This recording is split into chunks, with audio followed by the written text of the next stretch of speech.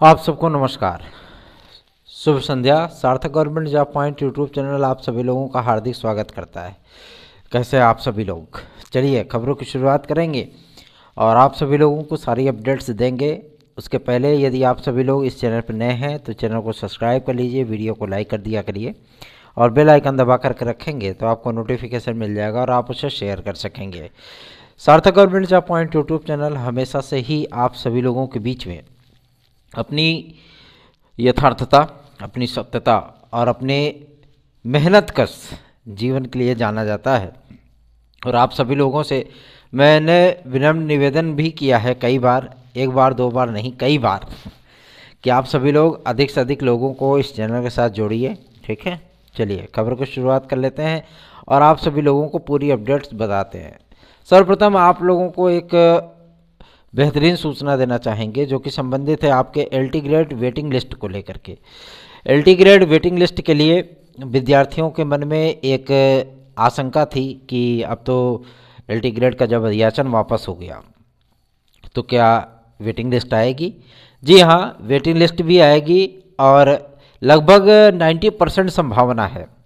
आज लोक सेवा आयोग में हम लोग गए थे और वहाँ पे सचिव महोदय से बातचीत जब की गई तो उन्होंने इस बात को स्पष्ट किया है और एक सीनियर जो है श्रीवास्तव सर सीनियर वहाँ के सदस्य भी उपस्थित थे।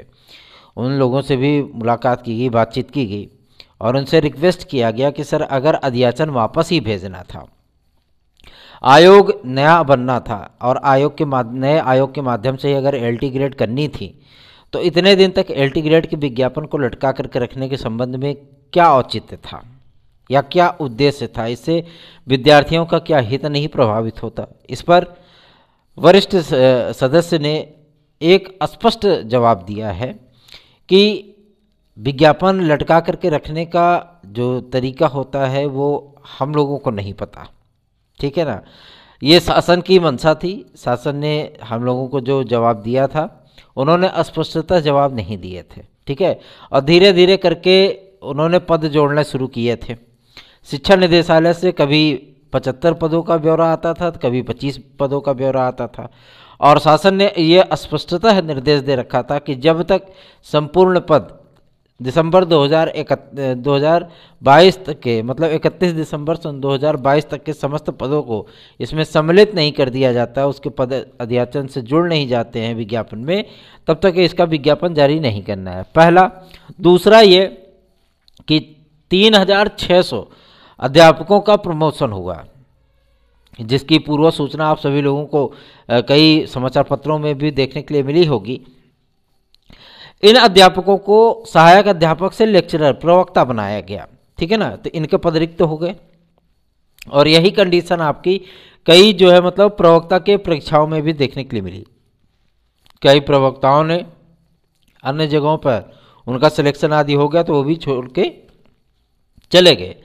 तो ऐसी परिस्थितियों में काफ़ी सारे पद खाली हो गए हैं। जो ये कहा जा रहा है आप सभी लोगों से कि छः लाख पद खाली हैं दस लाख पद खाली हैं। इतने पद फ़िलहाल तो उत्तर प्रदेश में नहीं खाली हैं लेकिन हाँ इतनी चीज़ें ज़रूर हैं कि साढ़े चार हज़ार से अधिक अर्धशासकीय सहायता प्राप्त विद्यालय हैं जिनको ए, आप लोग जानते हैं टीजीटी पीजीटी के नाम से है ना? और हज़ारों की संख्या में आपके राजकीय विद्यालय भी हैं।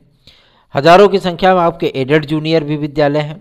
प्राथमिक शिक्षक तो बहुत ज़्यादा रेयर केसेस में देखने के लिए मिल रहे हैं। रेयर केस मैं इसलिए कह रहा हूँ क्योंकि शासन को कोई चीज़ें स्पष्ट दिखती नहीं है। इन सारी चीज़ों की तरफ़ ध्यान आकर्षण करना हम लोगों का भी दायित्व है कि सरकार का ध्यान आकर्षण इस तरफ़ हो। आप लोगों को पहले पहले एक एक चीज़ की अपडेट देंगे। इसलिए इस वीडियो में लगातार तक बने रहिए और तमाम अपडेट्स आप सभी लोगों को प्राप्त होगी। पहला मुद्दा आपका था एल ग्रेड में वेटिंग लिस्ट को लेकर के। वेटिंग लिस्ट आप सभी लोगों की कब तक कन्फर्म होगी, कब तक फाइनल होगी, ये जाएगी आप लोगों की अप्रैल 2023 अप्रैल 2023 में ये चीज़ें फाइनल हो जाएँगी, ठीक है? दूसरा, जब सचिव महोदय से पूछा गया कि क्या एलटी ग्रेड को वास्तव में नया आयोग ही कराएगा या लोक सेवा आयोग के माध्यम से कार्य किया जाएगा तो उन्होंने जो पत्र आज शासन को प्रेषित किया है, उसमें स्पष्टता इस बात का उल्लेख किया गया है कि लोक सेवा आयोग ने अपने परीक्षा कैलेंडर में सम्मिलित कर लिया है किसको? सम्मिलित कर लिया है एलटी ग्रेड जीआईसी प्रवक्ता और खंड शिक्षा अधिकारी सहित तमाम अन्य भर्ती परीक्षाओं को। और यदि इसमें कोई परिवर्तन होता है तो ज़ाहिर सी बात है इसको थोड़ा सा बदलना पड़ेगा। तो उन्होंने इस बात को स्पष्ट कर दिया है कि शासन इसका कम से कम दो से तीन दिन में हमें जवाब दे देगा। और हम लोगों ने इस बात को भी स्पष्ट किया कि पूरी कोशिश की जाएगी कि एक जुलाई सन 2023 ये से लेकर के 31 जुलाई सन 2023 मतलब एक अगस्त के पहले पहले, तक हम लोग एलटी ग्रेड को कंप्लीट कर दें। उसके लिए इंफ्रास्ट्रक्चर को डेवलप करना होगा। और इसके पहले अभी थोड़ा सा कोविड काल का समय है तो ज़ाहिर सी बात है, ये प्रक्रिया थोड़ी सी आगे बढ़नी ही थी। इसलिए कि भाई अध्याचन भी इनके आए, छत्तीस पद आपके प्रमोशन वाले थे, वो जुड़े, है ना? और उसके बाद जो पिछली भर्तियों के पद थे, चूँकि हिंदी में कोई पद शेष नहीं हिंदी के सारे पद भरे जा चुके हैं तो इसलिए इसमें कोई शेष नहीं। गणित में सारे पद भर दिए गए, इसमें कोई शेष नहीं। अंग्रेज़ी में आपके लगभग चौदह विद्यार्थियों का जो है, आपको देखने के लिए मिलेगा क्या? वेटिंग लिस्ट देखने के लिए मिलेगी। ठीक है ना? आज लोकसभा के सचिव महोदय ने इस बात को स्पष्ट किया है। तो आप सभी लोगों से मैं रिक्वेस्ट करना चाहूँगा कि Sarthak government job point YouTube channel को सब्सक्राइब कर लीजिए वीडियो को लाइक कर दीजिए। और एल टी ग्रेड जैसी प्रवक्ता ये एकदम कन्फर्म नहीं है कि नए आयोग के पास जा रही है। ये इस बार आपकी लोक सेवा आयोग के माध्यम से ही कराई जा सकती है। और सच कहे तो मैं भी यही चाहता हूँ कि लोक सेवा आयोग के माध्यम से ही एल ग्रेड और जी प्रवक्ता कराई जाए। इसका एक बेनिफिट ये होगा कि आप लोगों के लिए जो संशोधन आदि कराया गया है, संशोधन तो आपका वो चला गया, शासन की तरफ़ से सहमति मिल गई, वो मामला एकदम फिट एंड फाइन हो गया। ठीक? जिसमें 50 परसेंट का मुद्दा शामिल था, जो स्नातक और प्रस्नातक दोनों में 50 परसेंट वाला सेम केस देखने के लिए मिल रहा था। उनसे इन सारे मुद्दों पर बातचीत की गई थी और उसने, उन्होंने एकदम स्पष्ट कर दिया कि किसी भी प्रकार का कोई परसेंटेज नहीं लगाया जाएगा। लेकिन ये 50 परसेंट वाले विद्यार्थी भी इस चैनल के साथ नहीं जुड़ पा रहे हैं। क्यों? वो तो भगवान ने जाने। है ना? कि वो आ, मतलब जुड़ना नहीं चाहते या क्या है उनके मन में कि वीडियो देख लेंगे लेकिन जुड़ेंगे नहीं। है ना? चलिए कोई बात नहीं। आगे बढ़ेंगे अब बात करेंगे आपके सबसे महत्वपूर्ण मुद्दे पर जो कि संबंधित है टीजीटी और पीजीटी के लिए। टीजीटी में क्या पद बढ़ेंगे? जी हाँ बिल्कुल पद बढ़ेंगे इसमें कोई तो राय नहीं है। और जीआईसी प्रवक्ता में बीएड की डिग्री को अनिवार्य किया जाए इसके लिए विशेष मंथन कार्य जारी है शासन स्तर पे भी।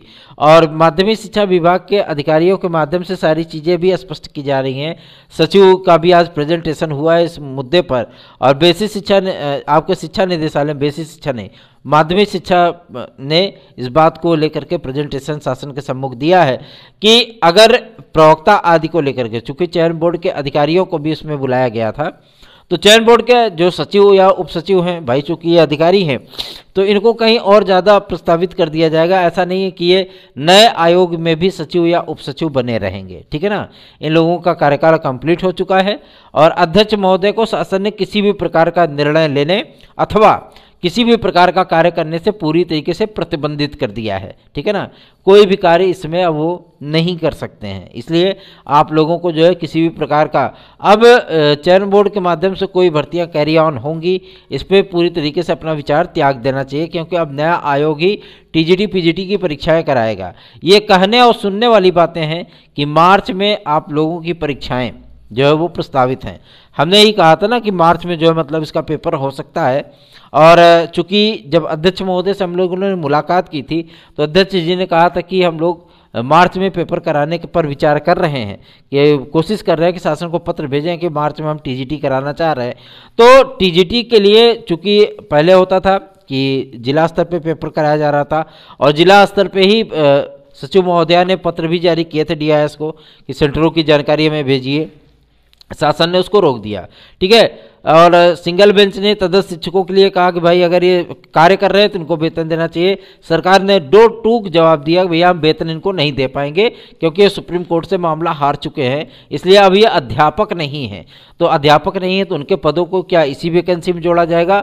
शासन ने स्पष्ट कर दिया कि नहीं, इनके पदों को इस वैकेंसी में नहीं जोड़ा जाएगा, बल्कि इनके जितने भी अध्याचन आ रहे हैं, या जितने भी अध्याचन नए आयोग के पास आएँगे, उसका एक नया विज्ञापन, नया शेड्यूल नए कलेवर के साथ में प्रस्तुत किया जाएगा। तो ज़रूरी नहीं है कि इस बार आप सभी लोगों को बहुत सारे परिवर्तन देखने के लिए मिले। जैसा कि खबरें आप सभी लोगों को प्राप्त हो रही होंगी कि टीजीटी और पीजीटी में भी आप लोगों को जी के जी देखने के लिए मिल सकता है।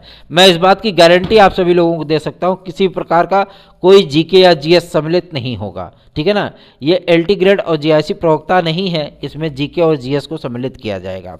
अमूल चूल परिवर्तन भी हुआ है आप सभी लोगों के एलटी ग्रेड और जीआईसी प्रवक्ता के लिए। और सचिव महोदय ने आज इस बात से बिल्कुल भी इनकार नहीं किया है कि लोक सेवा आयोग जो है, वो एलटी ग्रेड या जीआईसी प्रवक्ता को डिले करना चाहता है या उसका विज्ञापन लोक सेवा आयोग के माध्यम से नहीं आएगा। अभी तक पूरी तरीके से ये गेंद सरकार के पाले में नहीं गई। अभी लोक सेवा आयोग के यही पाले में और लोक सेवा आयोग के सचिव महोदय से हम लोगों ने विनम्रतापूर्वक रिक्वेस्ट किया कि तमाम मामलों को सुलझा करके इस विज्ञापन को आप लोग ही जारी करें। इस पर उन्होंने स्पष्टता कहा था कि विद्यार्थियों के अहित के लिए कोई कार्य नहीं किया जाएगा। अगर विद्यार्थियों का हित होगा, वही कार्य किया जाएगा। इसके लिए आप निश्चिंत रहें। तो उनके इन विचारों से, उनके इस, जो उत्तर से हम लोग संतुष्ट हुए, इसलिए उनसे हाथ जोड़ करके निवेदन किया हम लोगों ने कि एल ग्रेड और जीआईसी प्रवक्ता के साथ खंड शिक्षा अधिकारी पर भी वो लोग विशेष ध्यान दें, क्योंकि खंड शिक्षा अधिकारी भी विवादित हो चुकी है। और इसका विज्ञापन कई लोगों ने कहा कि भाई इकतीस दिसंबर तक वो विज्ञापन जारी करा रहे हैं, लेकिन नहीं करा पाए।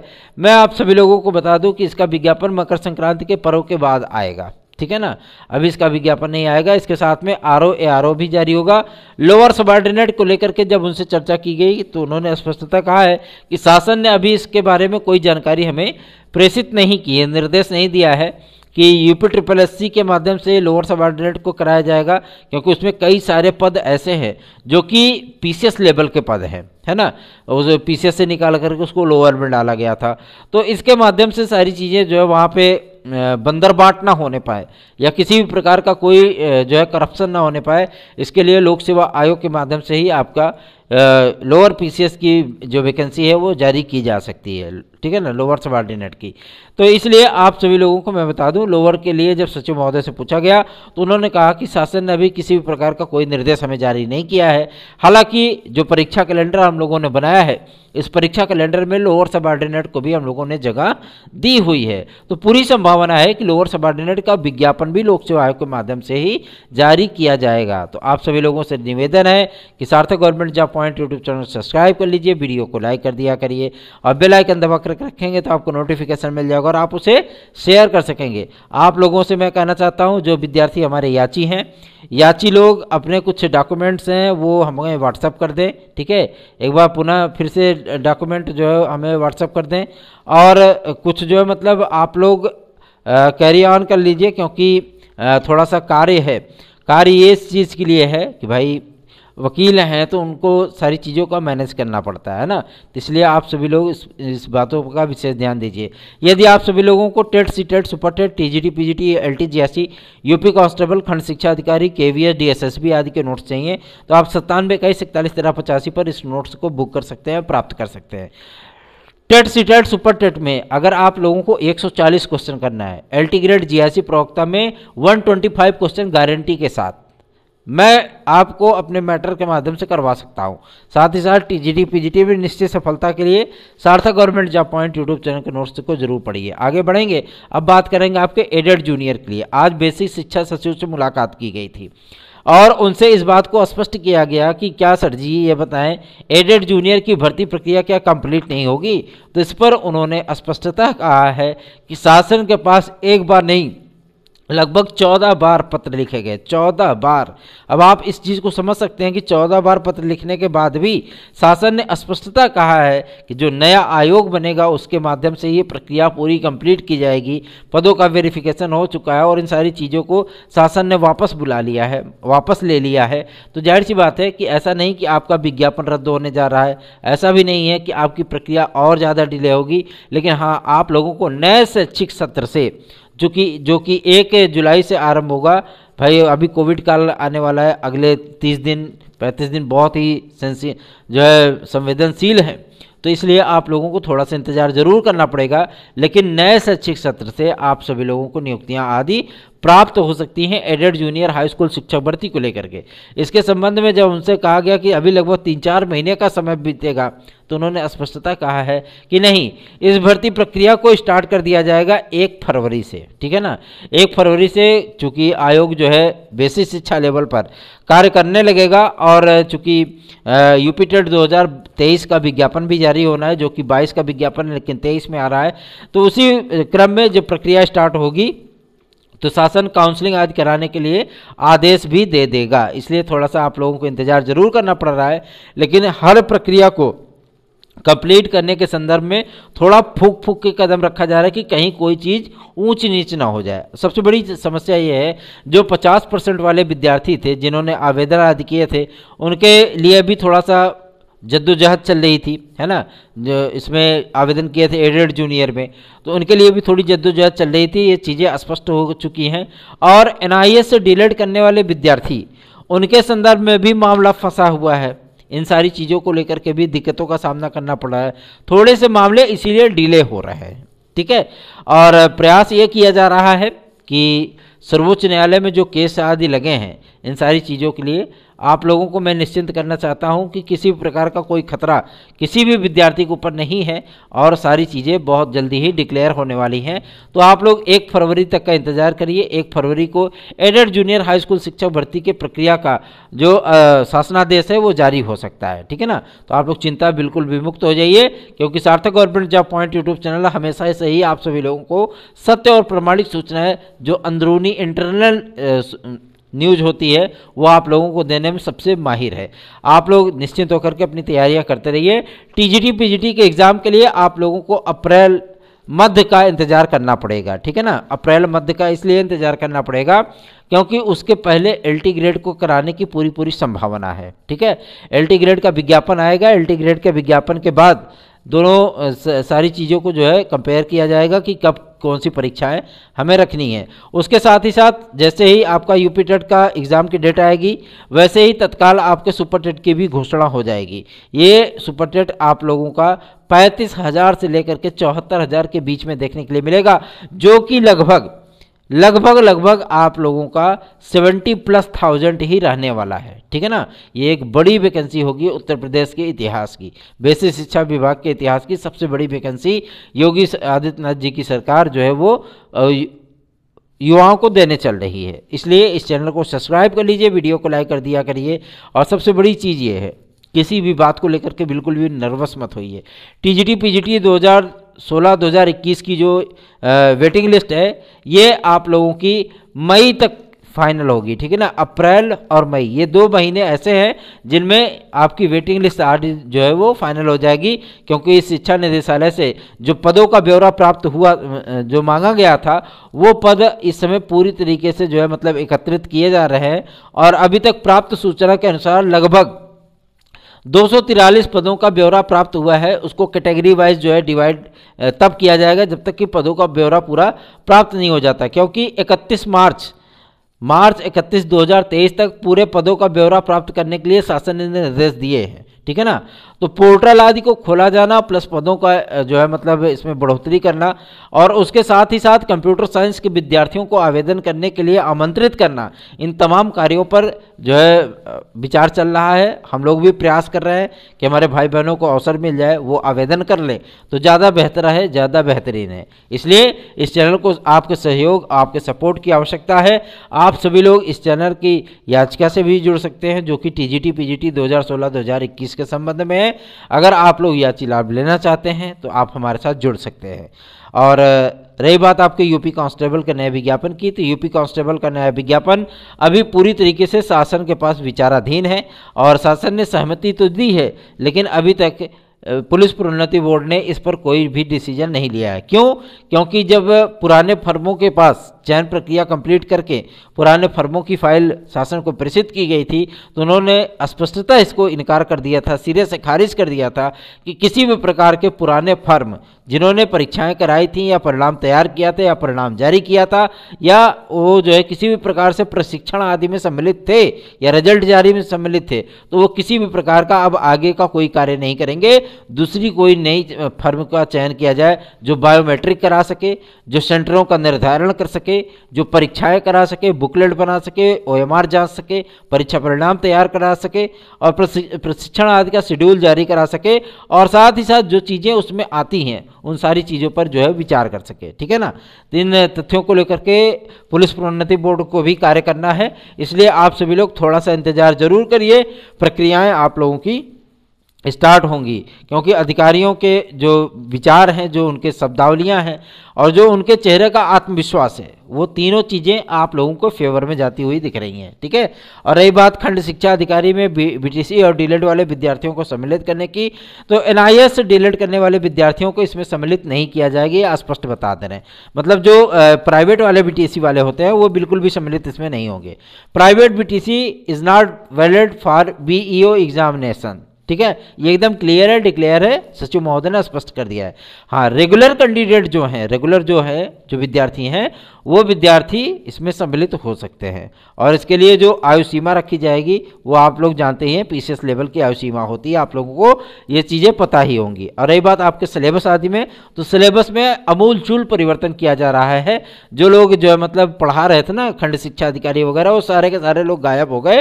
क्यों? क्योंकि उस सिलेबस में परिवर्तन करवाया गया है। कह करके, लग करके, हाथ पैर जोड़ करके इस सिलेबस में थोड़ा सा परिवर्तन कराया गया है, जिससे साइंस वर्ग के विद्यार्थी आर्ट साइंस के विद्यार्थी कॉमर्स सेक्टर के विद्यार्थी सभी लोग मिलजुल करके भी अगर इस परीक्षा को बढ़िया से तैयारी करना चाहें तो हर कोई समान होना चाहिए, है ना?